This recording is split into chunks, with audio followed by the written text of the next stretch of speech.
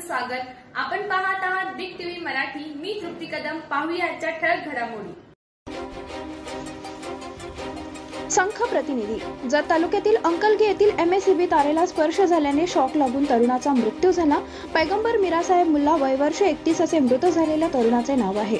कन्नड जिल्हा परिषद शाळा व्यवस्थापन जबाबदार कोण अशी चर्चा अंकलगी ग्रामस्थातून होत आहे.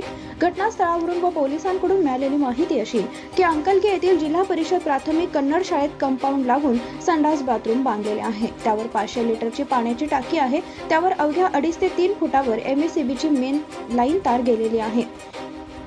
हा पाण्याची टाकी ओव्हरफ्लो होऊन पाण्याची पाईप निघाली होती. पाण्याची नासाडी होते म्हणून पैगंबर मुल्ला बाथरूम टाकीवर चढून पाईप बसवण्यासाठी चढला होता. पाईप बसवून उठला असता अवघ्या अडीच ते तीन फुटावर असलेल्या एम एस सी बीच्या मेन लाईन तार डोक्याला स्पर्श झाली. व खाली दगडावर पडला त्यातच त्याचा मृत्यू झाला. वडील लहान असतानाच मृत्यू झालेले होते. त्यांच्या मागे आई पत्नी व एक दोन वर्षाचे लहान मुलं आहेत. घरच्या कर्त्याचे मृत्यू झाल्याने परिसरात हळहळ व्यक्त होत आहे. उमदी पोलीस ठाण्याचे सहाय्यक पोलीस निरीक्षक पंकज पवार नाईक रामराव बन्नेनवर पोलीस पांढरे यांनी पंचनामा करून शवविच्छेदनासाठी ग्रामीण रुग्णालयात पाठवण्यात आले. उमदी पोलीस ठाण्यात नातेवाईक सलीम अब्दुल अपराध वयवर्ष एकोणतीस यांनी फिर्याद दिली आहे. याबाबत उमदी पोलीस ठाण्यात नोंद झाली आहे. पैगंबर मुल्ला यांचे यांचे गुढीपाडव्या दिवशी शॉक लागून मृत्यू झाला. याला जबाबदार वीज वितरण कंपनी की कन्नड जिल्हा परिषद शाळा व्यवस्थापन जबाबदार कोण?